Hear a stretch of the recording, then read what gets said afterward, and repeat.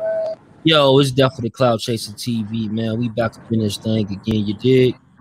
Hey, man, we got some news to report. Feel me? We gonna um get to it when it comes down to OG a legend. Feel me? Right. Yo, feel me, um, let these people know your name and uh, where you exactly from. I'm from Watts California. My name Kevin. You know they call me Big Stretch. Got you, got you, got you. And like, um, you know, Yeah, so you like, yeah, Garden, huh? so you you out the projects, Nickerson Gardens. I got you. So like, um, like man, tell us a little bit about your upbringing. You know what I'm saying? Was it the 80s or the 70s? I'm a 70s baby, man. I was born in 70, 1970 be exact. I'm 51 years old. Got you, got you. So like when it came down to it, like when it, you know, you you coming from being the 70s babies and you going into the 80s, like shit, what it was like, family. You know, the 80s was a different time. It was a different time. It was crazy, but it was it was it, it was a little more. It was way different, you know. Growing up in the 80s, you know, um, gang was, was totally different. Uh, the streets, you know, the, the neighborhoods, you know, everything was a lot different. Amongst the older blacks, there was a lot of more unity, but the gang banging was a lot different. You know, um, we had to go to school in certain areas. We all had to use the same school, you know, different sections, you know, different projects. We all had to go to this certain, you know, school together. So, you know, it um, it was like a almost like a war zone. You know, it was melees and you know, it was crazy. It was off the chain. You know, it's, it's, a vibe. You know. Um, So when you coming like you coming from that type of environment, like uh, what age did you actually like had to jump off the porch or like, you know what I'm saying? Like the means was it was necessary. it's crazy. I was talking to my girl the other day about this. You know what I'm saying? I jumped, I jumped off the porch young. You know what I mean? Actually, going up in Watts, it's, it's it's right there. You know what I'm saying? You ain't gotta get off the porch. It's right there. But I jumped off the porch, you know, elementary really. You know, um, had to. I grew up in the projects. You know, I had to fight bullies. I'm the oldest of two two brothers. I, I have two younger brothers. So, you know, I had to protect them. I, you know what I'm saying? And fighting bullies and growing up in the projects, you know, getting chased home and you know what I'm saying? And, and your mama telling you, nigga, you don't run, you better fight. You know, my mom be like, which one you had a problem with? I ran home one day. It seemed like the whole school was chasing me. You know what I'm saying? I was supposed to fight one cat. I looked up, there's a whole bunch of people. When I got to the house, my mama said, actually, I was running to the door, bro. And um, she looked out the window because I was yelling my mama's name. Like 30, 40 kids behind me. Most of them were spectators. And um, my mama looked out the window, she opened the door, then she closed the door. So I thought she unlocked it. When I got to the door, it was locked. And I'm like, I, I, I, that feeling at that moment, I didn't know what to think. You know what I'm saying? Honestly, I thought my mama just was like, I didn't know what was up. I'm like, mm, no. And I turned around and, you know, faced the music. I'm standing on my project unit. I'm looking at 20, 30 kids, you know what I'm saying? And they laughing. Ah, your mama left. But she didn't leave. She locked the door and she came around the front, without the front door and came around. And when she came around, she said, I ain't raised no pump. Which one of them you got a problem with? I pointed him out. She said, whoop his ass. And I whooped his ass. After that, I didn't have no more problems, you know what I mean, as far as that was concerned. But I still had to fight bullies every day, you know. You fighting the dudes who got four, five, six, seven big brothers, and you know, um, it was a different player field, man. Gang banging and all, like you know, you didn't, you didn't even have to gang bang to uh be accused. You know what I'm saying? No, no Because doubt. You No lived on one side of the projects, or you lived on one side of the street, and that neighborhood was that, the kids from another neighborhood gonna consider you a part of that. So peer pressure was real heavy back then. You know, it still is today, but it was real heavy. You know, and then it was like you had no choice anyway. I'm going home, even if I didn't game bang, I'm walking home to the kids that live where I live, and here come the other gang, and they chasing us. They're not gonna say, "Oh, you," they're gonna get you too. Was sitting in class, and dudes used to come. You know, the other gang, opposite gangs come, and they looking in the classrooms, and they'll be looking in the classrooms, and um, you know, like peeking through the windows, like who, you know, see if it's, you know, opposition's up in there. And if they see something, which I've been in there, and we had homies that came to the, you know, hey, they coming, and we running out the classroom. You know what I'm saying? But teaching was a lot different too. You know, school they they pass you, they care if you, you know, did the work or not. There was really no help from the teachers, as far as like if you was getting jumped by some gang members or anything like that. They didn't get involved. They didn't call security. They just they just looking. And, I, I, I not only witnessed that, I was I was you know a part of that. I, you know, I came out of class one day for a, a break, and um,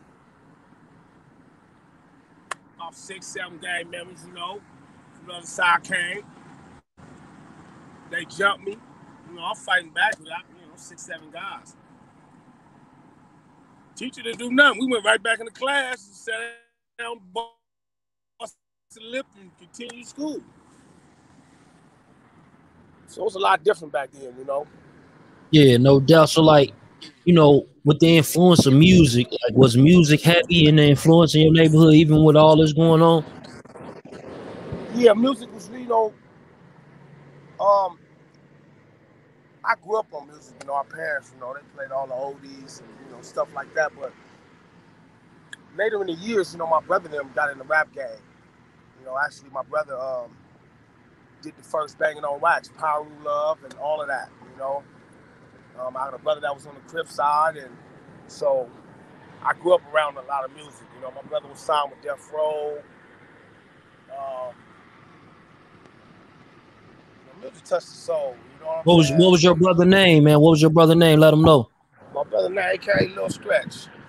Call him yes, Bo, sir. Bo yes, sir. Young soldiers. Um, Big Wad, the relatives, Sugar Booger, you know, my brother and them, they, they they was all, you know, did all of that together. You know, it was it was a team, you know, they just got in the studio and they did their stuff. Signed with Death Row, you know, I, I knew Suge personally.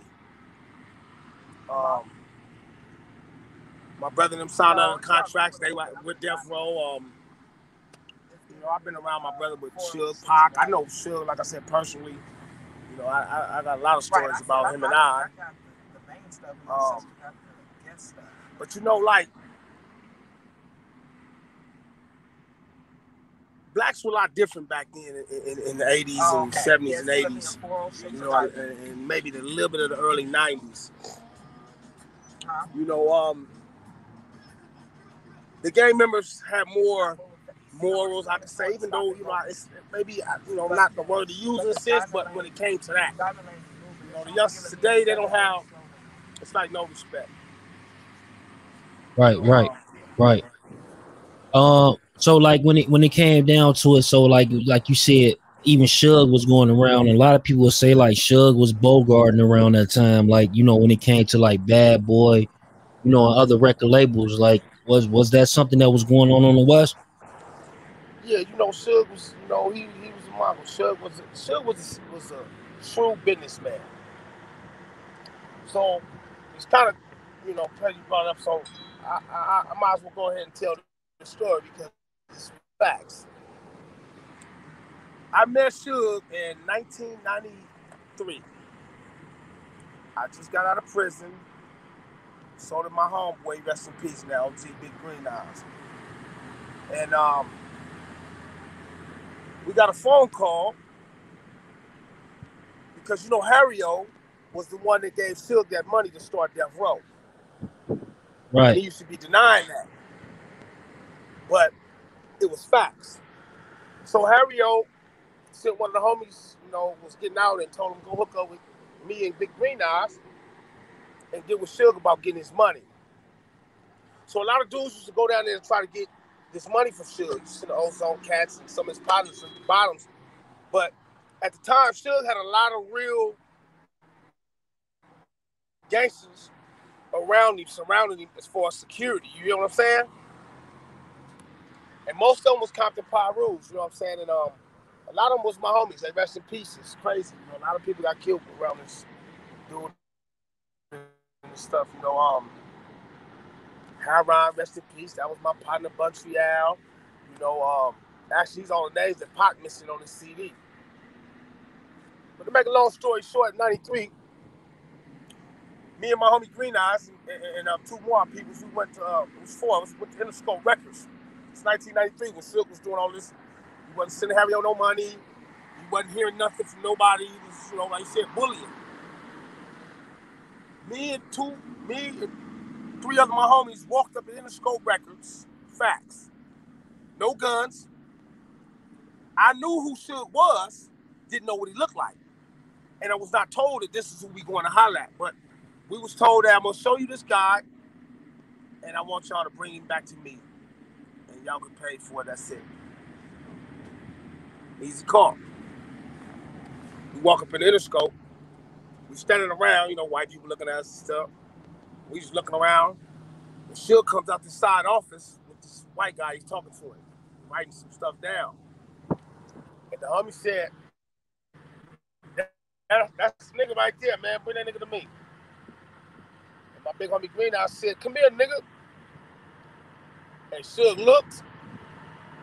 He said, "Shit, I gotta take care of something." And he made a beeline towards the elevators. You know what you like, power walking? Mhm. So he realized he wasn't gonna make it on the elevators, and he, he hit the stairs, and we, we chased him up the stairs, bro. I'm right behind him. And um, Big Suge. Big Suge, bro. This is 1993. Facts. Yes, sir. legs off right now. Huh? Say yes, So- sir. Yes, sir. So we chasing him up the hallway, Interscope Records, till he's trying to get to Death Row to his floor where, you know, his bodyguards is at. So I'm behind him and I'm like, come here, nigga. And he, I told you I gotta, I gotta do something. But he's trying to get to that office. So my G homie I said, Stretch, don't let that nigga in one of them doors and close that door on us. I'm like right on his heels. And I'm like, check it out. Nigga hurt. You know, I'm trying to stop you, won't stop. I'm behind him. I'm like, come here, nigga. So he tried to, when he grabbed the door to go in, I kind of like hit him with the OG clip with the foot. Boom! He stumbles up in the office and startled everybody in there. But the door didn't close. I was right behind him, bust the door open. And all the bodyguards in there, maybe 15, 20 G. They like, Suge, what's up, what's up, what's up? He's like, I don't know, man. These niggas talking about I gotta go talk to their homeboy. And my G homie Green Eyes stepped into the nigga face like this and said, nigga, I'm OG Green Eyes, nigga. You finna go down here and talk to Carlos. He did, what Suge didn't know at that time was that my homeboy Green Eyes was a five-star general on the council under UBN, which is president, you know. Yeah, so couple of like several of them dudes that was in there was his comrades, and they was up under him. So usually anybody come up in there, they gonna maul you. So when they didn't move like usually do, Suge knew, oh, these niggas must be somebody. Cause my homie said, nigga, this turned around, told him this nigga finna go down here and talk to Carlos. Let's go, chap. And we escorted him back downstairs. White folks and everybody. Oh, it's funny. Snoop pulls up in a limo. He didn't even get out in the underground parking. He seen all of us in the underground parking. He, he stayed in the limo. So Suge goes and he talked to the homeboy and um a half a million dollar check was signed to Harry O, bro. You know what I'm saying? And that's that's that's you know true story facts. Now Got you. Got you. uh, I say about a few weeks later, we was at the summer jam backstage. We was backstage, me and my homie Green Eyes with, and um, it's me, Green Eyes. We was with Mike Concepcion, my my brother Lil Stretch, Top Dawg, Big Wives, couple more people, right? And um, me and my homie snuck off to go smoke, you know. So we been dipped in the cut. Got the backstage passes on. Now, we hadn't seen Suge since this. I didn't find out this was Suge until like a, a week later. Suge and Heron is coming up the back way, and Suge is on the phone. He see us, and he say, "Let me call you right back." But before they get close, the homie say, "You know that is straight." I see it. That's Suge. he walk up and he say, "What's up, Big Green Eyes? What's up, Stretch?" He said, "I want to fuck with you and your homeboy." And he gave us some money. And then about a couple weeks later, my brother ended up signing with Death Row.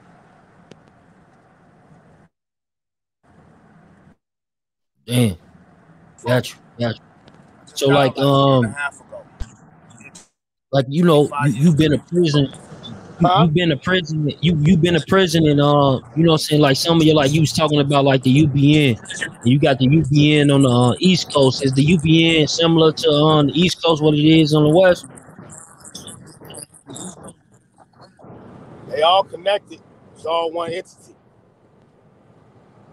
You got UBNs, you got BLs, but I, I won't go into you know the politics because that's their thing. You know, I'm not a part of none of them. You know, but um, yeah, they all connected. It's, it's one way up, but you know, um, yeah, it's all functional. It's all together. You know, from gotcha. my understanding. But like I said, you, I'm not a part of that. You had a Say relationship. Um, you had a relationship with uh Stevie J, right? Stevie J at the time he was signed to um Bad Boy. Like, was that some type of conflict of interest or brother being signed at that Row? You know, um, actually, Big Dog, I um, I've only been friends with Stevie J a short time. I met him through another friend, and him and I became, you know, close. And I, I do a little security work for him here and there, you know. But we are good friends. You know, um, actually, he was texting me this morning. You know what I'm saying? We FaceTime, we top it up. You know, um, Stevie's a good dude, but it had nothing to do with the with that. You know what I'm saying? Got you, got you, got you, got you.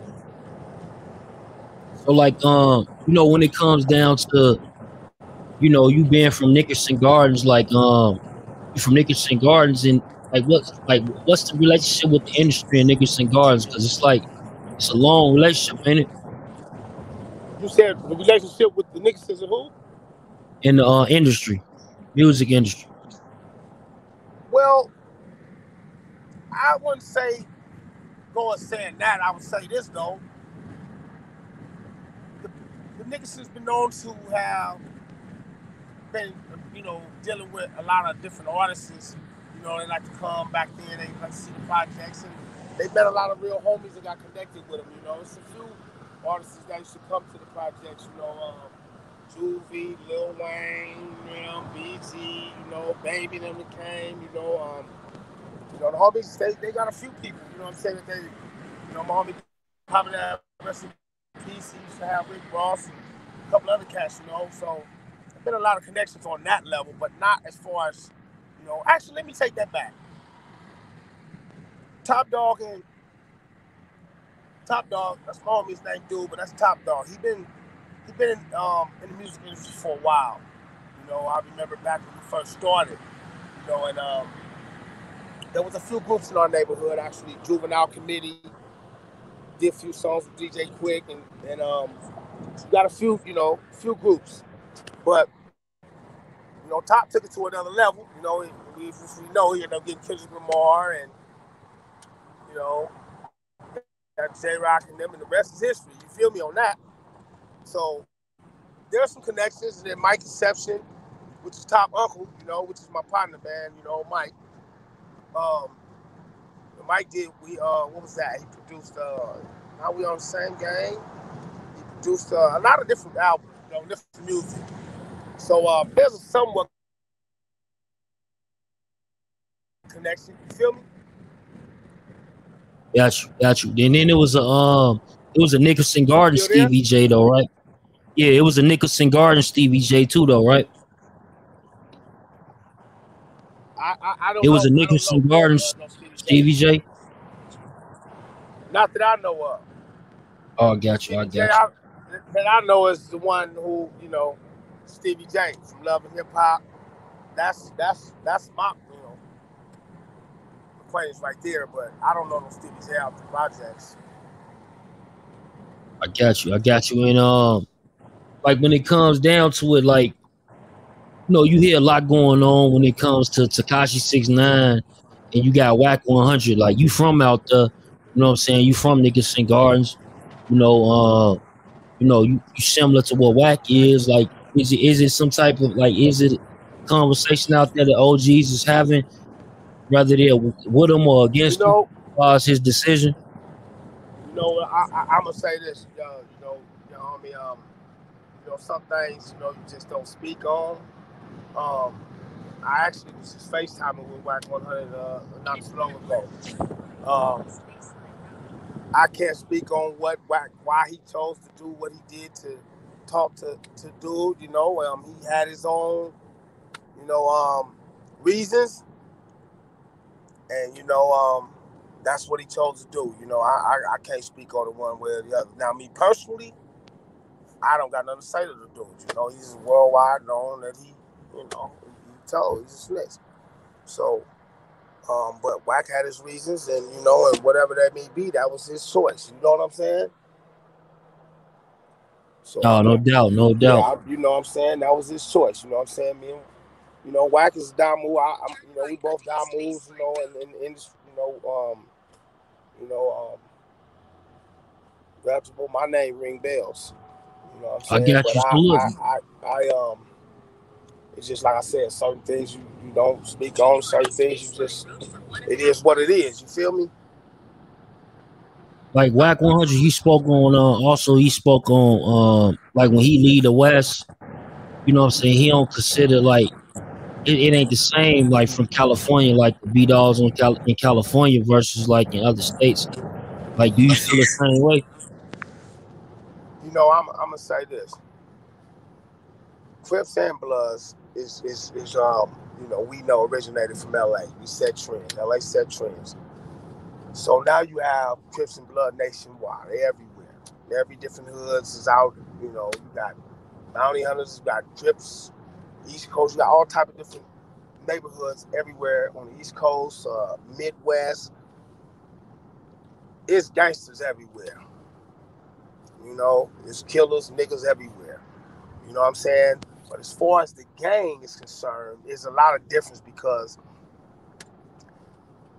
it was different when we started gang banging. You know, when it was, you know, you know, I'm second right. My, you know, it was it was a total different.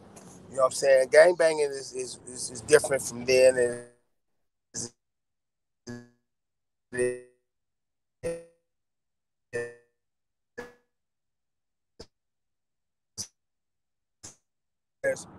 you you walking up the street, you're gonna get sweated, harassed, chased. You, you know, shot come through difference now. You don't see that as much. You see, you know, it's changed. Things change. You know, they in cars, dudes just riding around with guns and whatever. But it's different. You know, um. But when you gang bang or your so-called. Because when it really come down to it, black on black crime is not what's happening. We not enemies. We make ourselves in because we've been indoctrinated with these, you know, these theories. But when it comes down to it, if you are gang banging, right, which we said we didn't gang, we didn't socialize with Crips. Might have one or two that was, was cool with. We didn't really talk. And on the streets, that was in jail, but on the streets, we get active. You know, um, it was it was gang banging. You know, we looking for them, they looking for us. We chasing, you know, whatever it may be. It's a different era now. I don't even think a lot of these dudes even know why they gang bang or know what it's for or what it's about. Which really, to be honest, it really was never about nothing. Because we was misguided. You know what I'm saying? This this was all part of a design and a plan to keep us divided, bro. You hear what I'm saying? Yep, yep. You know, but um, you know, I'm representative and I, you know, it's front line, you know, I, you know, I'm a general from out of my neighborhood, all that, but that was something I grew up in, like I said. But when we young, a lot of us we don't have our cognitive thinking. You get what I'm saying? Yeah. And we really don't start to mature until you after 25. You know? And so we um we was lost, bro. You know? We was doing what the what, what, what they call it, you know, what everybody else is doing. It, it, you know, like I said, peer pressure or whatever you want to call it, influence. You know, was the thing to do. Because everybody was doing it. So, what, I look back now mhm. and the knowledge that I acquired now, I know what I know now, I would have never gang bang. I'd have never done a lot of things. You know what I'm saying? Um, because we need to unify. We up against it from all angles, man. You know what I'm saying? Um, these devils got, you know, they got a hold on us, and, and, and, until we break that chain and that way of thinking, that's the only way we're gonna bring up on the change. And the sad part about it is a lot of the youngsters so far gone that a lot of them is unreachable. So you have to catch the real youth to be able to set a trend to make a difference in their lives because the future is theirs. And, and, and, and you have to you have to show them the obstacles that they're going to be facing and teach them facts when they're growing up as kids. Teach them unity teach them these things. If none of this is being taught within the home then we're being taught the imperialistic way. No doubt, no doubt. Divided. hmm So like it's like if like with, with all that you just said is like a direct message you want to send to the youth when it comes down to you know I'm saying them having some of the same um situations like as far as the upbringing right now in 2021. I got a few things, man. I, I, like to say, you know, um, first of all, you know, I, I've been shot, stabbed, shot again, stabbed, you know, and um, it ain't fun, but been to prison. I've been to youth authority. I've been to camp. I've been to all the halls. I've been to multiple prisons, you know, in California. And um, like I said, I just did 25 straight. However, what I want to say to the youth is that, you know, um, that's not the way to go because we think it's cool. You know what I'm saying? And then the older cats is not really lacing the youngsters. They're not talking to them. And if they are, they're not engaging them right. You know what I'm saying? And so they are receptive. But I'm saying to the to the youngsters, man, you know that um you gotta gotta educate yourself, get your mind right. We're not we're not enemies. We kin, we family. And so we have to uh teach this to the youngsters, man. Prison is not the place to be. You know, it's a better way, man. You know what I'm saying? Get money. You know, black on black, that, that shit ain't about nothing. You know what I'm saying? At all times, I said, man must defend himself. But because of a color, or because you live over here, you know, but um, it all boils down to the parenting, bro. And see, if the parents don't know what to teach the kids, then the streets will. So that's what happens with most of us in our neighborhoods in the black communities. And the reason that happens is because this style of parenting has been passed on from generation to generation since the time of slavery. These indoctrinations was passed on, the Willie Lynch theory, all of this was done. So, you know, um, I feel like most black parents, we should homestead our kids first. Um, I, I, I can we pick this back up, big dog? Because I'm really, um, I'm at an event right now. Yeah, yeah, no, no doubt, no doubt, man. We appreciate you um touching down with us and uh giving us some type of insight, you know what I'm saying, on what's going on and uh how OG's coming home. Just one more thing though, like, you know, you doing 25 years, you know what I'm saying, straight, like you said, like what was one of the biggest things that you might have missed the most, like, you know what I'm saying, besides family? You know, Pac said we never fear in this world, but being outside the cage, you know, just being able to, you know, go and eat something that you like. Going to, to uh, you know, just being able to walk when you want and not having anybody just, you know, you know, like I said, we still not completely free. But I miss being able to do what I want when I want. You know, being able to walk outside, look at the trees and breathe and, you know, take a walk or go to the store. You know, the the, the smaller things and that, that you start to appreciate, you know, when you in that place. You know, um, and that's another subject we could talk about, you know I'm saying, when we get back home, man, you know, um, the prison system. Because youngsters need to hear it, you know what I'm saying? And, and people need to know what's going on up in there. Absolutely. I, I, I walked them and I did a lot. You know, I went to all, like I said, mostly all the prisons. How you doing, big dog? Pretty good. How you doing, sir? I, I um, I've been to, to to multiple prisons, man. You know, um, probably over 15, 20 prisons in my life. You know, transferring from prison to prison, and it's a hellhole, bro. You know, I was doing this 25 years. I didn't know if I was gonna come home. I didn't know if I was gonna make it out of there. If I was gonna, um, you know, catch another case up in there or get killed. You know, this is this is prison. So, um, like I tell these youngsters, man, that ain't where you want to go. You lose your mind up in there, man. You can't be yourself. But um, no, I appreciate that though, man. Blessings, OG. Appreciate that, man. We yeah, definitely man. gonna talk again, man.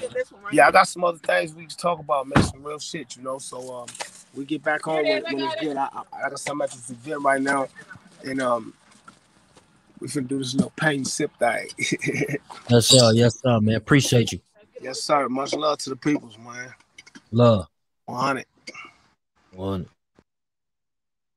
Yeah, man. So y'all go ahead and subscribe. Y'all can watch a lot of these episodes, past episodes on Wrong Kind East podcast. Uh, definitely Clout Chaser. You know what I'm saying? Uh, we definitely intertwine with all that. You know what I mean? One of the hosts, one of the uh, guys who do the interviews. You feel me? So we gonna push content all around the board. We just had um a wrap up here like earlier. You know what I'm saying? From Murder Inc. Cadillac Tah. You know what I'm saying? We just had a uh, Big Stretch. Like it's it's just different things going on, man. We pushing positivity, and we definitely gonna be in tune with some people from Chicago very very soon. So um, stay in tune with that, man. Put your notifications on, man. If you ain't already in tune, get in tune.